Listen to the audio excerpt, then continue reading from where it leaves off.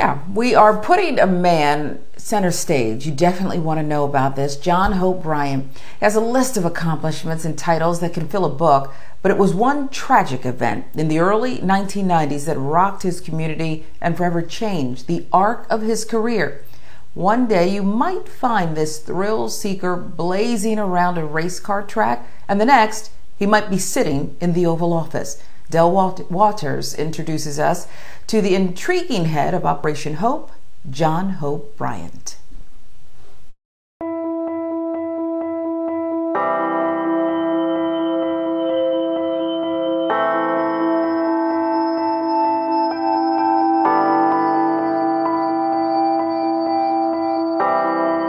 You're going to repeat after me. I can change the world. I will be the change in the world. You guys sound really weak. Despite facing some resistance, John Hope Bryant really is trying to change the world. Talk like you got passion in your life. Talk, oh my God.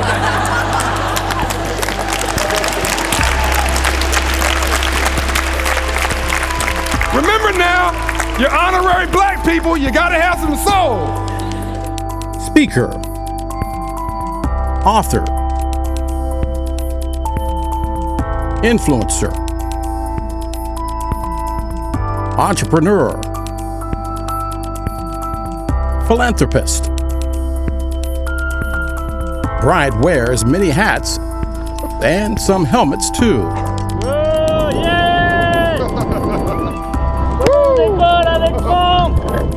Bryant embodies action and success, but the 55 year old millionaire came from less than modest means Compton, California, South Central LA. He always had a brain for business, even making $300 a week selling candy in grammar school. But by 18, he was homeless and living out of his car. Yet, eight years later, his world and life's work changed forever.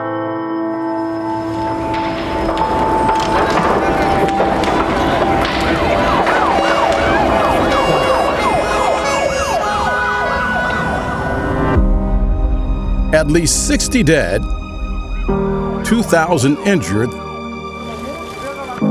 3,000 buildings burned,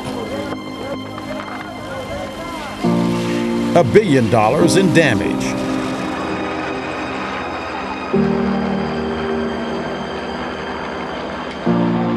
The beating of Rodney King ignited the 1992 LA riots, but also sparked a young activist into action. To rebuild the neighborhoods, Bryant knew his community needed tangible tools for owning homes, managing money, raising credit scores, and starting small businesses. He believed the best way to restore dignity was through financial literacy. It's not like poor people and struggling families got the memo on free enterprise and capitalism and screwed it up. They never got the memo. If you're middle class today, you're living in the, the Bay Area, you make $50,000 a year or less, you are struggling to make ends meet. You're living in New York City, you're making $70,000 a year, you are struggling to make ends meet. So whether you're white, black, red, brown, or yellow, you want to see some more green. You deal with class, you get race for free. It's not about race anymore, it's about economics and class and opportunity. We're all in this mess together. It's about economic empowerment, he says, and giving a hand up, not a handout. And so began Operation Hope. From my mother, I got this quote There's a difference between being broke and being poor. Being broke is economic, but being poor is a disabling frame of mind and a depressed condition of your spirit, and you must vow never, ever, ever to be poor again.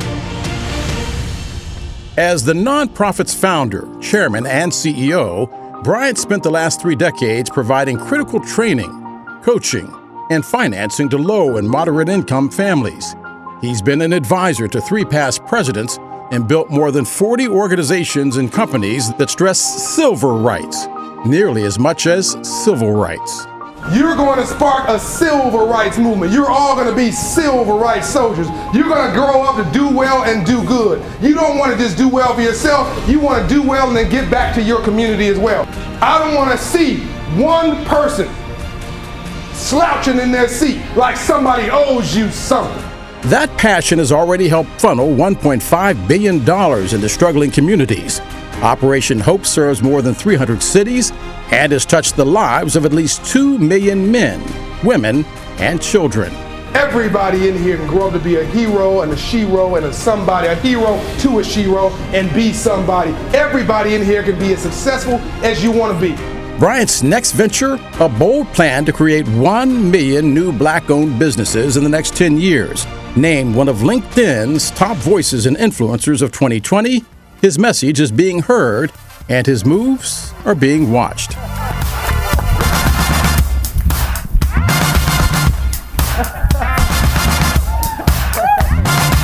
Hold on. A former Soul Train and American Bandstand dancer, John Hope Bryant is constantly moving and consistently shaking things up. I can change the world. I can change the world. Uh, honored to be here. That that was actually a little embarrassing. Particularly no, no, don't be embarrassed, brother. Accept your flowers. Accept your flowers. We were we are so happy to give it to you. Fascinating story. Uh, raised in Compton, uh, homeless at the age of 18. Um, you know, everybody talks about being a product of the community. Obviously, you came out of Compton and did a great job. I, I'm curious where that mindset came from to become the brilliant man that you are today? Well, whatever you see is all him and her. So him, God, mm. uh, and her, my mother. Uh, my mother told me she loved me every day of my life.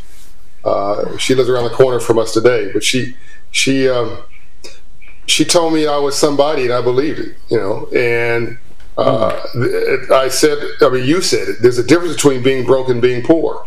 Being broke is economic. Mm-hmm but to be poor is a disabling frame of mind, a depressed condition of your spirit, and you must vow never, ever, ever to be poor again. And it's, it's I have a T-shirt I wear every day with a different theme. The one from yesterday was built by failure. I take no for vitamins. Success is going from failure to failure without loss of enthusiasm. You know, you got to be resilient, and that resiliency was robbed from most African Americans um, in our experience coming here from Africa. It was robbed from us. Uh, we had a natural resiliency. We're, we're the most one of the most resilient people on the planet. We've been doing so much with so little for so long. We can almost do anything with nothing. And maybe that's another interview for another time. But uh, my mother poured that back into me. My dad also was instructive because I'm to give him credit. I'm a businessman because he was. I'm an entrepreneur my dad was a businessman. His father was a farmer born in 1871 in Mississippi, so probably born into slavery, and because because nobody gave him the memo that we were free in 1865. My great grandfather was definitely a hmm. slave, but I, I never had the mentality or, or, the thought that there was nothing I couldn't do, um, and that that principally came from mom. Uh, and I, I, owe her a debt. You know, my mother's credit score now, I think it's 874. I never went. Hey. I never knew it went that that, that, that high. Oh. But that oh. means my mother's not black. Actually, she's green. she, I love it. She, she we need to get your mother on this show. Yeah, let's get mom on this show. Um, mm-hmm. Yeah, that's right. So your mother's love and sense of adventure. I do want to hone in on on the adventure because it seems to me that that has shaped you. Um, maybe even seeking thrill and not all of us have that ability to dream and to step outside of ourselves. Um, what do you make of that in the way of your success? You know, no one's ever asked me this question. I've, I've done, I'm sure, in my life, thousands of interviews. Uh, certainly, t- you know, hundreds of mainstream media interviews. By the way, I don't. I think the value of this network, there's there's multiple pieces of value, but one of them is, you know, I go in, I do three, six minute interview, whatever, we hit it, we split it, I'm gone. No one does a package like you did to unpack the story uh, which mm. I think is really important for African Americans to see because whatever you model, you'll be. And and and why the kids in the inner cities want to be rap stars only, drug dealers only, mm-hmm. athletes only, because they're modeling what they mm-hmm. see as symbols of success. Mm-hmm. And what you did wasn't about me. What you did was signaling to those watching, you can do anything you mm-hmm. want to do. I think that's one of the very valuable pieces of this network and what you guys put together. So I applaud you and those who have found it and back it. Let me uh, speak to that thing you just said, though, Sharon, about my mom. My mom's not adventurous at all. now I've had my mother in my race car before, and she was cool about it. she just had her. Um, I think her 84th birthday. She'll kill me for not knowing the exact, uh, uh, either not knowing the exact year or telling her years, but 84 ish and um, a few months ago, and uh, I've had her in a race car. I think when she was in 75, no, no, 80 years old. I had her in a race car doing 130 miles an hour at Road mm. Atlanta, and she was cool about it. She did 12 laps, but she was cool when she got out and happy about it, and hasn't been in one since. My mother trusts me, but that doesn't mean she's adventurous. Most black folks actually are not very adventurous. It's a very instructive point. I had never really thought about it to this moment.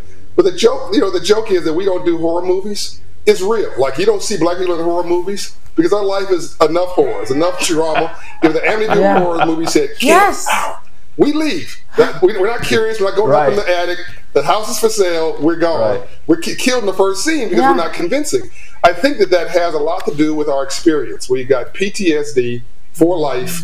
We had enough drama just trying to get from home to work and back without being pulled over and, and traumatized or dramatized. Whatever the thing is of being disappointed in this world, it's baked into our spirit. And that's part of why I wrote this last book, uh, Up From Nothing, uh, The Untold Story of How We All Succeed.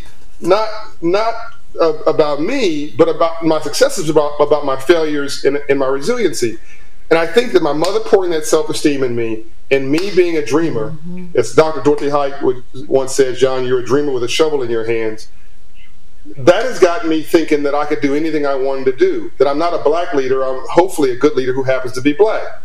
Mm-hmm. Uh, I'm proud of being black, but don't limit me just because you want. To, don't let somebody put me in a box because they think that that's the limit of my potential. I, can, I believe I can go in any room and do anything, any place, at any time, and perform and execute.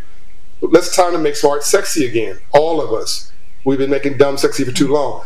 So I think I got a, a software upgrade, is what I'm telling you, Sharon that other people didn't get. A, a window opened up. Then I had some early success. Started my first business when I was nine years old. Homeless when I was 18. Picked myself up.